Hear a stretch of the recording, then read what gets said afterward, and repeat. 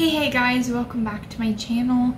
Today I have a small little haul for you that I wanted to get up and I am just gonna jump into it quickly. I'm going to quickly introduce myself. My name is Hayley. Somewhere on the screen will be my socials and this is a mainly beauty channel. I talk about I talk about my makeup, makeup I want, new releases, I do quite a bit of a different range of things in the realm of makeup YouTube in conjunction with some nerdy things as well.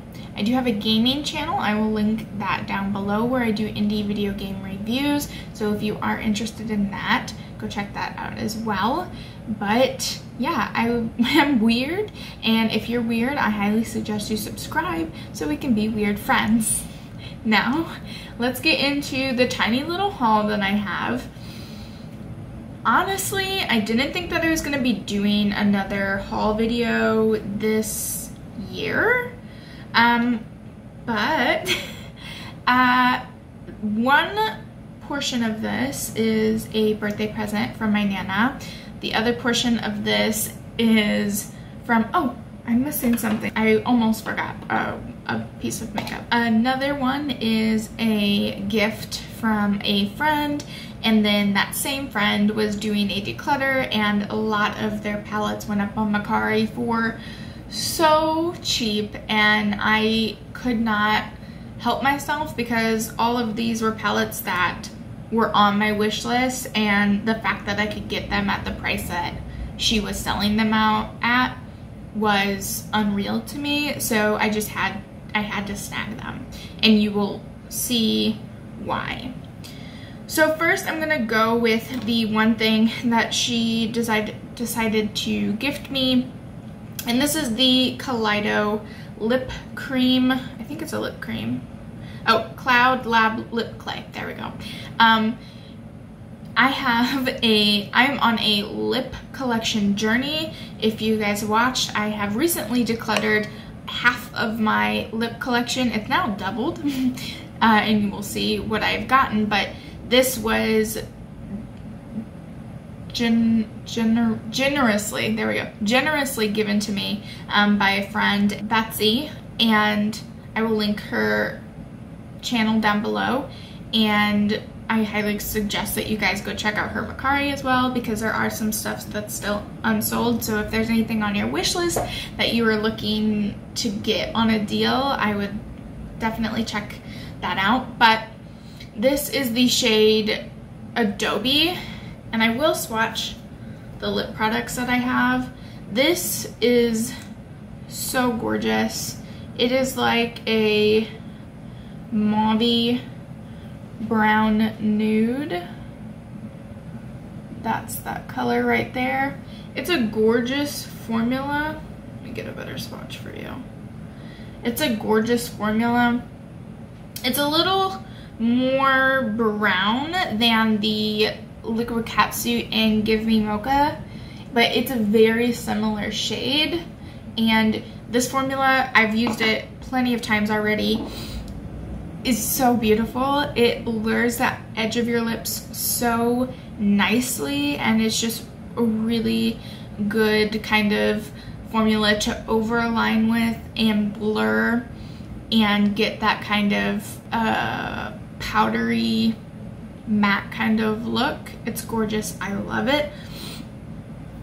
Next um, are two sets, holiday sets that I got from my Nana for my birthday and I got these so tiny, they're so small, um, trio of Pat McGrath lip lipsticks and I have the shades Beautiful Stranger, Flesh 3, and Christy. These are all in the matte trance formula. And I think this formula is also gorgeous. It's very matte, but also not drying. And if you want a little bit of shine to your lips, I feel like it works really well with a lip oil underneath it. And if you wanted to top it with a gloss, I've done that as well. And it's still gorgeous. It holds up. It doesn't break down under a gloss. And so here, here are the colors from top to bottom. This is Beautiful Stranger, Flesh 3, and then Christy. All unique colors to my collection. In honesty, these are a lot pinker than I thought they were gonna be. In the in the swat like lip swatches online, these looked a little bit more brown, a little more neutral, and in person they're a little they're more cool toned than I had thought. So, but I mean, with the way my lip collection was, I wasn't gonna get dupes of anything. So that kind of worked out, but I I wish it would have been a lot more neutral how I thought that they were going to turn out turn out than they did. But they are beautiful shades. I again have worn these already. Beautiful formula. The e they easily overline without looking like you obviously overlined. I'm kind of regretful that I haven't like taken the plunge on any more like Pat McGrath uh, lip formulas because these are just absolutely stunning as far as application goes. And then the last thing in, in the present from my Nana was these set of Buxom lip glosses. And if you know that the reason why I've gone on this lip journey was the fall collection of the Buxom shades of the shades Buxom released. So I have um, four shades, all again shades that weren't going to be duped in my collection. I was, however, worried that there was going to be a dupe with my Keep It Full Milani, um, but I've swatched them all against it and they're not anywhere near the same color. Um, I was worried that it was this one. I was worried that the, they were going to be the same color, but they are not. So let me swatch these for you. So from top to bottom, top is the clear. It's what I'm wearing today. And that is in the shade Dominique. Underneath that is the shade Sugar. Then the shade Dolly. And then the shade Brandy. I love them all. The scent is so heavenly. It's so sweet. It smells like kind of sugary and it's just, I love applying these. It's not sticky. The plumping, these are all like the plumping polishes. The plumping effect is good. I like the results and it is a mentholy plump and not a spicy cinnamon plump, which is my preference. The, the mint plump, plump is my preference. Um, so that is also really good to me. And I, if I had to pick a favorite shade, it'd probably be Brandy. It has just enough pigment to make my lips look really full and it amps up my lips as far as fullness. You know those kind of like videos where it's like the same companies who do like the eyebrow microblading but they like do it on their lips and then the red their lips are really like red and like it looks like they got filler but didn't. That's how Brandy makes my lips look. It looks like I just got that like weird needle microblading on my lips but I didn't. And I think it's just absolutely a stunning shade and it's probably my favorite out of the glosses. Moving in to the eyeshadow portion of the haul, um, I added five palettes to my collection. so I'm a little bit um, to capacity with eyeshadow right now, which is the reason why I'm doing that kind of eyeshadow potential, the palette potential spin-off series with each of my palettes so I can have a reckoning at the end of the year because there are still palettes that I want to buy. I don't want to stop buying palettes because I'm currently overwhelmed. I want to figure out what is in my collection that I really love and has a use and that I reach for. and then let go of the ones that I don't feel like work for me and my makeup preferences. So that's why I'm doing that because I I have just added so much eyeshadow in like the last two months. so we'll start with the sad fella and this is the Rare Beauty this is the Magnetic Spirit. I'm really into shimmer heavy looks recently and there's this one look that I can that I do frequently where I make like a shimmer wing and it's just gorgeous and I love it. But sadly, um, the shade's are almost all gone. I'm probably gonna just scrape it out because I even using it with my finger, I have a lot of fallout and it was broken in the um, pictures of the listing, so I knew that there was a chance that it was gonna shatter more in transit. So this isn't like a slight um, to uh, Betsy or anything. Like I bought this knowing that it was shattered and that it had the potential to shatter more. So it was just so sad. Um, I tried to repress it and it's just a gorgeous like olivey greeny bronzy shade and I really like those shades. So it was just a little bit of a disappointment. And then this shade is the real standout for me, but I really like an all shimmer palette. It's not something that bothers me just because I know that I use my palettes as singles. So that's not anything that will ever keep me from buying a palette is it if it's all matte or all shimmer. I also got the other Rare Beauty one. This is the Confident Energy. And this is what that looks like. Again, these are all old palettes. I'm sure that you've seen them. I am just letting you guys know that these are in my collection now. So I think this is a gorgeous palette. I can't wait to play with it. Um, I haven't played with this one yet, so we will see kind of what looks I can come up with and how it looks with some of my other uh, formulas. Next, I have um, these two from Game Beauty. I have been waiting since the before the launch when I found the page and their palette hadn't even launched yet. I was so excited because I love gaming. I love nerdy things. I love Lord of the Rings. I love Star Wars. I love everything fantasy.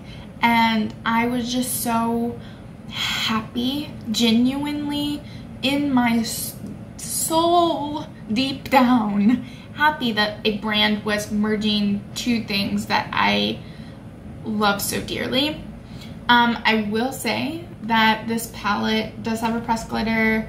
I swatched it. It wasn't, let me show you them. Um, I swatched it and I was like, mm, that's probably not for me. So I'm gonna try and figure out a, what? A craft to do with this glitter to get it out of my palette. um, but I have used this. It's not quite as deep as I would want it to be. Uh, this brown doesn't go quite as dark as I was hoping, but I find the formula to be fine and they build nicely on top of each other. And the shimmers I haven't played with these three. Well actually I haven't I haven't played with these two shimmers yet but I've played with everything else in the palette and besides the press glitter. And I was getting actually a lot of compliments on the eye look that I wore that look in. Uh, the video probably before this, the speed reviews video of my Sephora haul, I was wearing this palette and I got numerous compliments on my eye look. Like I said in the comments, it was quite a bit of a struggle to get there because I was wanting to get that brown deeper, but the quality wasn't bad. It was just the depth that I was looking for wasn't there. I haven't played with this one yet. I'm looking forward to playing with this one so much. I love blue eyeshadow. Um, I do have the Tokyo palette, which I usually use for pastels. I don't usually do pastel looks. I know I'm kind of light today, but I was look, wanting to go more like acidy, green, grungy-ish. oh, Jesus Christ. I like opened my collar and a burp came out of my throat. That was aggressive. So I am anxious to see how this one performs. I usually use pastels for transition shades for other deeper, more pigmented mattes. So that's probably how I will end up using these three shades in particular. The other half of the palette is a little more um, my speed as far as tone goes and depth. So there's that. I'm really happy that I have these. I can't even begin to tell you. And now I can, I feel like since I have these and I've played with the formula and I know that they're improving their formula, I feel more inclined to let that like $45 go when I get the Victory palette because where before these palettes were they weren't getting negative reviews but they were getting mixed reviews. I don't think that I've seen a review of these palettes that have been like absolutely a thousand percent you should totally spend your money on this and like absolutely have no critiques of these palettes so I was just a little reserved which is why I didn't quite you know jump but to get these at the price that I did I was just like oh my gosh I gotta get them now and I am really happy that I own these. These are, these make my heart so happy just to see them in my collection. Not even touch them, just see them in my collection. I can't even tell you. And then the last palette I got is, why am I opening it? Like, I need to show you that first. Outside, the Flare palette from Ace Beauté. This is the old formula. And I know that a lot of people have had mixed feelings about this formula. I haven't had any issues with it so far. I've played with it four times and I love it. It builds beautifully and the colors are beautiful, the shimmers are beautiful. I, I really like this palette and I'm, I don't have any issues with the formula so far. Um, I have not played with saffron, aubergine, or Atlantis or forest pine. Those are the only ones I haven't like touched yet. Uh, all the shimmers at, oh, and bayberry. Um, I've used Mirage, Firefly, Biscotti, Mulberry, Hazelnut, Acorn, Sherbet, Moss, Pumpkin. Did I say Firefly, Cider? So I, I would say that I've used over half of this palette and I, I love this palette. I love it so much. It's so beautiful. I like the mattes. I like the shimmers and I am overall impressed with that so far. I will come back to you if I find any indiscrepancies in working with it further, but so far, so good.